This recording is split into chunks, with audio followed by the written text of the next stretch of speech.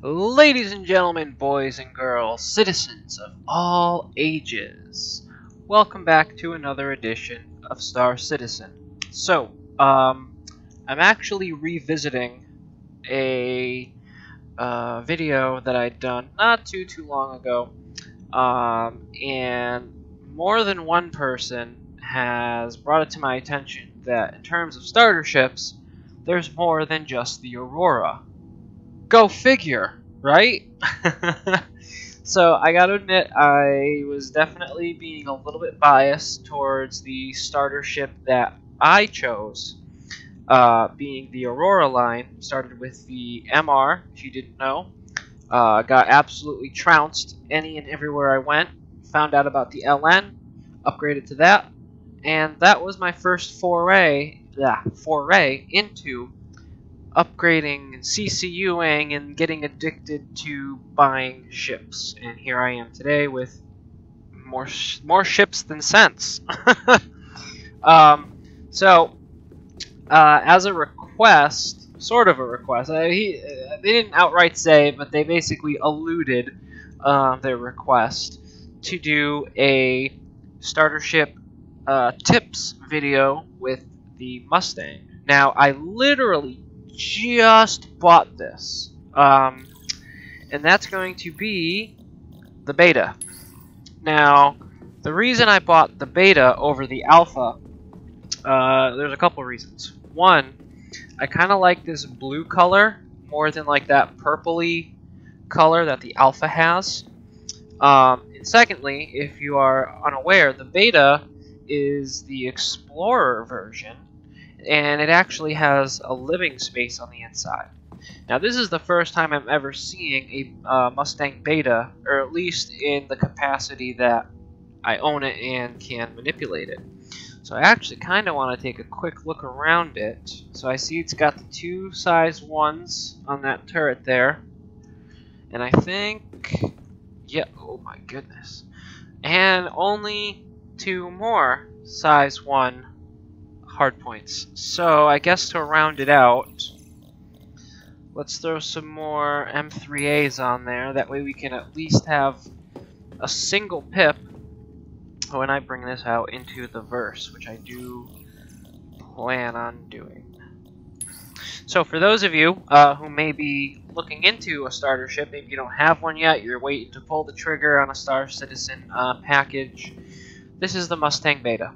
Uh, this ship goes for about $40, uh, depending on your uh, geographical location. I know if you live like in the European areas, there's like a 20% tax on it.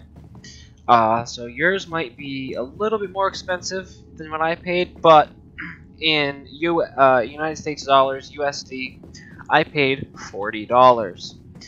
Now, preparing for jump. Oh, Okay, so that uh, was my AI, Alex. Um, I have her turned on, uh, giggity. Uh, I've got her turned on for when I do go into the verse, as uh, given the fact that I'm in a starter ship, I'm probably going to have a little bit of. Uh, it, it would be better if I'm able to manipulate my shields. So let's hop into the cabin or the back portion. This, holy shit! This is surprisingly roomy. Wow. You know, from the outside, it really, it really doesn't seem like there's like this much space. And this opens. hey, it's a toilet. That's cool. Hey, I can open and close it. Neato. Can I, and I can enter the toilet. Life complete. Alright. Let's see. What's that? Warning. That must be like a microwave. That's cool. Ooh. Get the fuck out. Look at that! that is... That is cool. What? I can open more?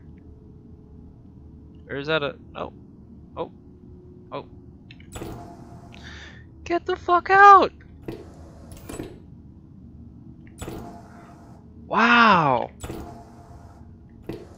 working shelf. I never thought I would be so excited for shelves. or drawers, I mean, not shelves, for drawers. That is cool. Oh, does only the bottom one open? Alright, well still, that's really cool. Look at that, it's all angled. That looks neat. Ooh, it looks like there's a screen here. I can... What? Alright, hold on. First I see some buttons. Do these do any... Oh, anything? No, maybe if I duck down and get close. Nada. Alright. I wonder if that screen does anything. Look at that! Okay. That is cool. Literally chilling. Uh, but my face is stuck. I can't look around. Alright. So, what is moving? Sounds like there's something... Oh, oh, Jesus. Getting all messed up. Enter seat. Something is... Oh, I did it again. Sounds like there's something moving. Is it above me? It sounds like it's coming from my right. I've got stereoscopic uh, headphones on, and it really sounds like it's coming from the right-hand side somewhere. I'm trying to spin around, see if I can see anything opening, but no. Alright. Um, anything else? That looks like it opens, but looks like it's just the seat. Oh, Jeebus. Okay. Oh, that opens. That is so cool. Not sure what I'd be able to store in there. Maybe a couple pairs of clothing, a couple different suits. Oh, that would be so cool if we could hang up some clothes in there. And then, of course, we've got the bed. And I'd hope the bed works. Yup. Wow, I'm actually kind of surprised.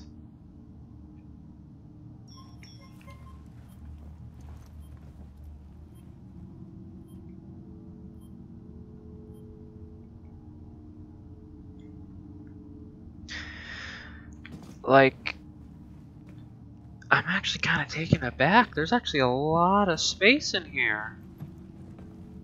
At least a surprising amount. Oh, I see. And this is like like a, a hub of sorts, and then you can go. Oh, oh, okay. Maybe I need to use that just to at least go into. Oh yeah, let's not stand up. Okay, and then other than that, it looks like it is just a normal Mustang. All right.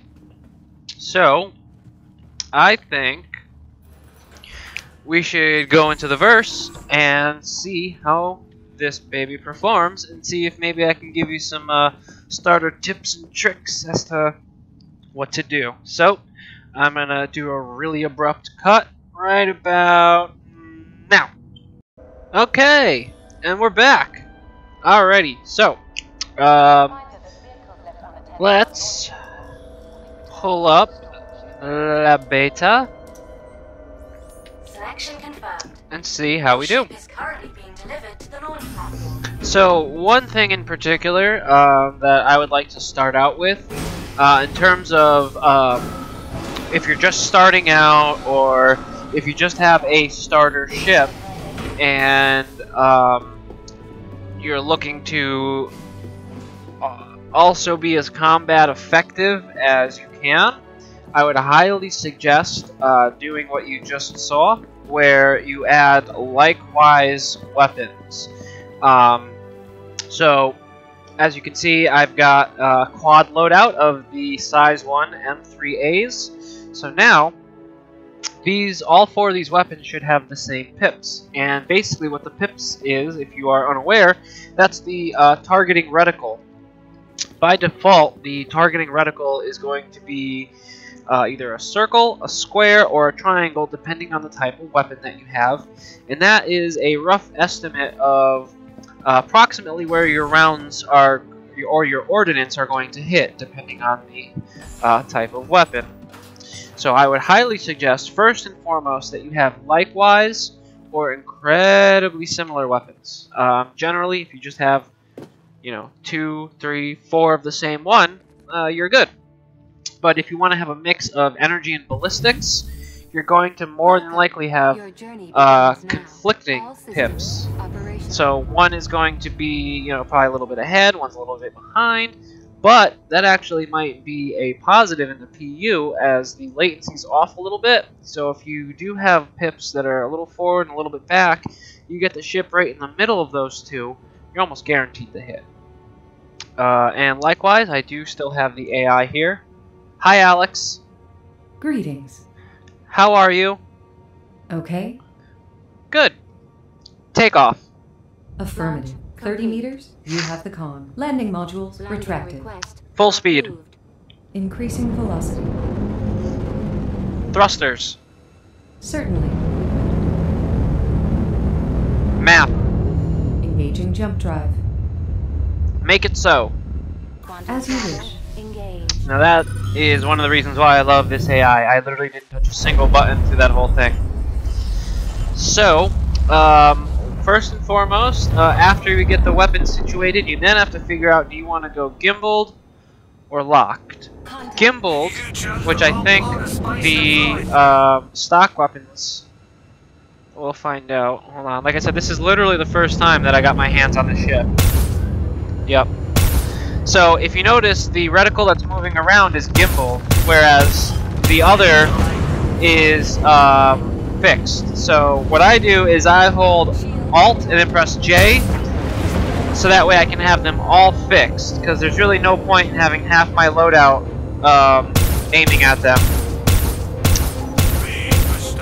So as you can see, with me personally, I have better accuracy uh, trying to get the ship just in the center, as opposed to trying to get my reticle. Um, it's a little bit easier just for me. You might have the opposite, so I would suggest playing around with that as well. Front shields. Front shields.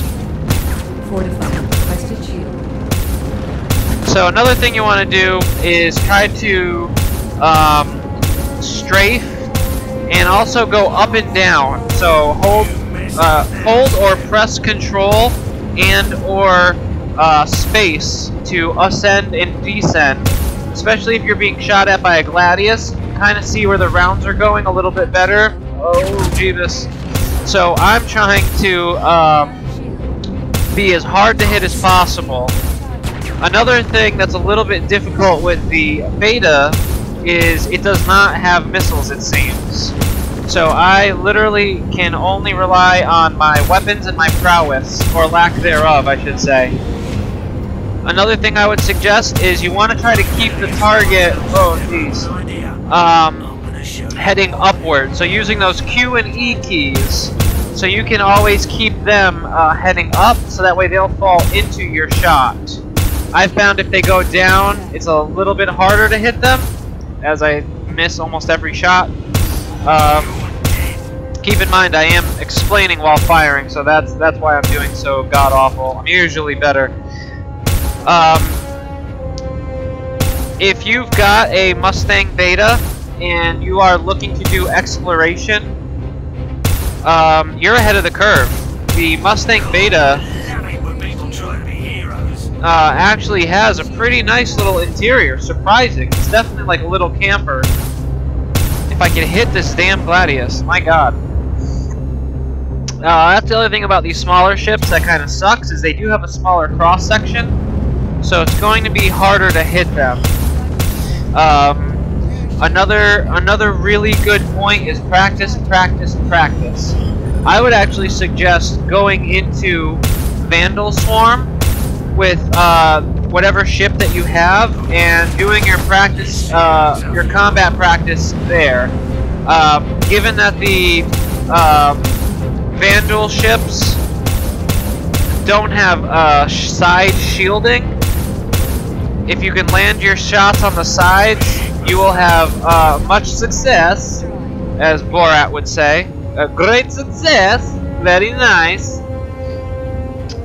Um, and that's another good way to get your combat uh, proficiency up. Now, if you notice, in that fight, well, uh, I mean, I would say I took a decent amount of shots. Luckily, I did. I wouldn't say that I got lit the hell up, but I did not get out unscathed. Um, I'm not seeing any actual visible damage. However, my sensors are telling me otherwise. Now, if we look in the upper left corner of the screen, you can see that uh, it says my, well, it doesn't say, but it dictates that the yellow portion of the ship is damaged. And the worst part about that is that's the cabin. Um, that is the bridge, the pilot seat area. So, with that being damaged, I could be in a very precarious position. So what I want to do is head to Cryastro and go get repaired. In case you didn't know, Cryastro is where you would head to get uh, your ship repairs, your where you would rearm, you know, missiles, uh, ballistic ammunition, quantum fuel, uh, hydrogen fuel, all the goodies that you would need for your spacefaring venture. Um, conversely, for stopping by you're welcome. Hold while our systems connect to your ship. No, tell me now. Our systems indicate your Yeah, that's what I thought. minor damage. Just a little. Would you like us to repair it? Well, yeah, that's what I'm here for. Um, okay, enough of the snarky comments. Um, shit, what was I saying? So basically, uh, you can go to Cryastro to, to get repairs as well as refuel and rearm. Uh, but conversely, in the current build, which is 2.6.3, instead of going through and spending the money to do that, you could also just respawn the ship. Auto land. Auto land. Automated landing enabled. Oh, the Mustang doesn't have that? That sucks. Uh, so like I was saying, conversely, in 2.63, I really just damaged my ship while landing. Launch complete. Landing request approved. Uh, it'll probably help if I put into landing mode. So now I'm gonna have to repair myself a lot more, but that's fine. So quantum fuel, pretty straightforward, is to do quantum jumping. Hydrogen fuel is your regular fuel for flying about. Now one of the good things about the beta, it has a big fuel tank. I mean, just a little bit of driving around I did, I didn't even spend any. Let's fix you up. Piece of the ship just lying next to it. so, like I was stating, um, Let's get you filled up. in 2.63, which is the current uh, live build, not the test build, you. um, you you can actually just respawn your ship um, instead of having to pay to get it repaired. I would actually suggest, um, well, realistically, you could do either or. Um, I would say maybe get into the habit of going to Cryastro, as with the advent of 3.0, that's what we're going to have to do. But in the same uh, thought, you may as well just respawn it to get it fresh, since that feature is going to be going away soon. Quantum travel engaged. So let's go back to 126. Let's try uh, a few more test uh, round uh, uh, fights, and I'll try to give you my input. Uh, another good thing to uh, keep in mind is uh, your shielding. So, what is he? Oh, yeah, no. I'm not even. No, in, in this thing, uh, that cutlass would spank me. I would, I would not be able to put a dent in it. And that's one of the reasons why I upgraded to the LN. Um, and a comparable Mustang for the LN or against the LN would probably be the Delta. But in my opinion, I kind of think the Delta is a little bit better than the LN in terms of fighting capabilities. In terms of overall, I kind of like the LN a little bit more because it does have that bed. You know, it is a fighter, but it has a bed built into it. And that's why I keep singing the praises of the LN. If you need a good starter ship, in my opinion, the LN is where it's at because it can do cargo with the StorAll cargo pod. I don't remember the exact name, but I know it's something along those lines. Uh, you got the ability to fight, as it has the two size ones and the two size twos, and it's got a bed, so that way when 3.0 and the log off mechanic comes online, you're good. You don't have to go to a space station. You just get up, go to the back of your your ship, and bing bang boom, you're all set. Quantum travel. So let's go back and hope that the Cutlass doesn't show up. And if the Cutlass shows up, fuck it. I'll I'll go down swinging. Uh, another thing that I was going to say is your shielding. Now, by default, by default, the shielding manipulation buttons are um, numpad 8 for the front. Oh, here we go. Number pad 8 for the front. So watch the top left corner. See, now I've got my shield mainly in the front, which I'm going to keep at for this Aurora. Um, another thing, if you do uh, numpad 2, that'll put your shields to the rear. And then if you press numpad 5, that'll reset your shielding. So another really big thing I would suggest is learn to manipulate those on the fly. Uh, luckily with the AI that I have, look at that, and the, and the Aurora is dead. Which goes to show, you know, even though they are size 1s, um, if you've got a nice consistent hit ratio and you're on target and accurate, y- you'll win. So that's why I say go to Arena Commander, go to Vandal Swarm, practice, practice, practice, practice, practice. Shield at full strength. So, uh. Again, going over the a little bit of the shield mechanics. So I'm gonna hold down the number pad, uh, or eight on the number pad, and now I let go. Now my shield is all the way to the front. Now the thing about the beta, it does not have side shielding, so you really, really, really got to be careful about those side um, attacks. Front and back, you're good. So if I were to press number pad five, Shield at full strength. now it'll equalize them. Where now if I hold down number pad 2, it um, fortifies my rear shielding. So I'm going to equalize it one more time and uh, fly back to Olisar. Um, so, quick recap. Uh, you definitely want to try to keep all of the same weapons, uh, or at least weapons that have the same velocity and range. Uh, those numbers can be looked up. Thing is, though, since things are always in flux and are changing, you know, for 2.63, let's say Badgers and Sucker Punch, you know, once you get within a certain range or so, yeah, they got the same pips. But when 3.0 comes out, Sucker Punch might go slower and Badgers might go faster. You know, so you kind of have to play with the loadouts, and I would highly suggest using Rec uh, to rent the weapons from, I think it's Electronic Access. You can accrue Rec uh, a couple different ways. I believe you can get it through Star Marine. You can also get Rec uh, if you're a subscriber. So if you give 10 or 20 bucks to RSI uh, for the month, you get X amount of Rec. I don't remember the exact number. But if you if you subscribe for the twenty dollars, you get a good amount. I think it's like twenty thou, something like that. Um, so I mean, you get you get a lot of rec and a lot of chances to rent a whole bunch of stuff. Auto land. Automated landing activated. All right. Activated. So it does have it. I was just being dumb. Um, so weapons. Um, another thing is practice. You definitely want to practice. Um, nothing takes the place of good practice. Um, Another thing that you want to do is your shielding. You want to remember to manipulate and pay attention to your shielding and power outputs. Power outputs not so much as again, I think that's going to be more of a 3.0 thing, but it doesn't hurt to have that in the back of your mind. Um, and maneuverability, maneuvering, uh, doing evasive maneuvers. Um, remember those Q and E keys, and remember control and space are your friend.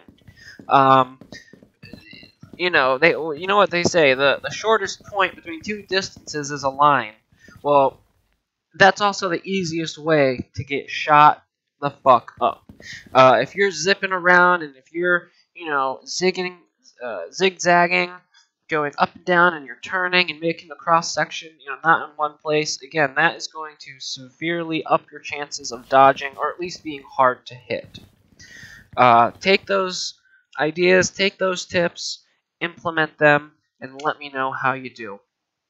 Did you like uh, this video? Did you like the addition, uh, bringing in the Mustang, so that way I can try to, you know, not alienate everybody? I hope so. Um, if you like this video, leave a like down below. Uh, leave a comment as well uh, if you want to see similar things like this. If you want to see different things, uh, let me know. Tell me, what do you want to see? Uh, I do have a couple of videos planned that are going to be coming up soon. Uh, no real ETA. My work has been really busy lately. Um, I don't know if I went over it, but I live in Massachusetts, and I actually had to go up to New York earlier today, and I was up there all day, and I was so exhausted. I still am, but because I love all you guys, and because of all the crazy awesome support, I was like, no, you know what? I gotta get on. I gotta make a new video, get it out for everybody. Everyone is so awesome. I can't let them down. So, thank you very much for watching. Um, like I said, leave a like if you liked it. If you didn't, tell me why down in the comments. Uh, tell me what you want to see. And yeah, um, like I say in almost every video, you know, if you do comment and I don't get back to you, sit tight. YouTube doesn't like to give me my notifications for some reason. Um, so just just hang in there. I, I check my videos daily and go through all the comments to make sure that you know I'm not uh, let leaving anybody out. So thank you very much once again. Uh, all you beautiful bastards have a wonderful day. Last but not least, this has been Will. es